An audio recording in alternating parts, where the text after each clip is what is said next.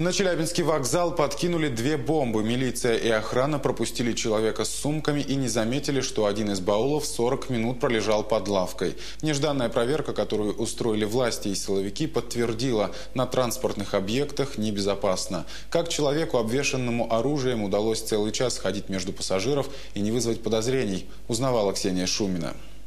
Об этом визите на вокзал никто не предупреждал. Еще до приезда сюда Давыдова, Грачева и главы УФСБ Старицына здесь побывал человек с двумя сумками в руках.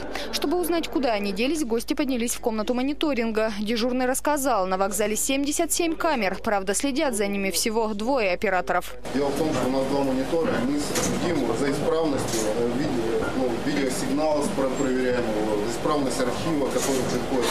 Как двум людям уследить за целым вокзалом, где абсолютно все ходят с сумками. Вот несколько минут назад на втором этаже произошла закладка. А, вы ее не видели, потому что человеческих факторов здесь было очень много. В итоге выяснилось, подозрительный предмет оказался в камере хранения. Второй баул обнаружили в здании пригородного вокзала. Он спокойно пролежал под скамейкой 40 минут. Этот укромный уголок вообще не просматривается камерами наблюдения. Тут же рядом ходил и сам подставной террорист, причем с муляжом Макарова под курткой. Если тут не будет стоять металлодетектора, то пройти может достаточно почти каждый. Вы просто прошли, никто вас не остановил? Нет, конечно, абсолютно. То есть э, Походил указ, поднялся наверх, посидел, спустился, нашел место, поставил. Если бы все это было не отрепетированными учениями с участием актеров, а реальной террористической операцией, то нет сомнений, хэппи-энда бы не случилось. Наша главная задача – обеспечить безопасность населения. Э, в данном случае мы, во всяком случае, используем все наши возможности, все наши ресурсы для ее решения. Э, к сожалению, иногда неквалифицированно действуют те сотрудники, которым вменено в прямые обязанности предупреждение и локализация предприятий предпосылок, э, либо самого, собственно, совершения террористического акта.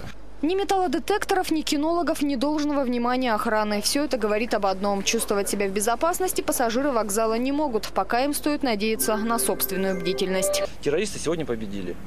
люди зашли свободно в здание, занесли сумки. На вокзале там вообще ситуация анекдотичная. Сумку оставили, она какое-то время стояла, подошел милиционер, забрал ее, куда-то унес. А если там бомба настоящая?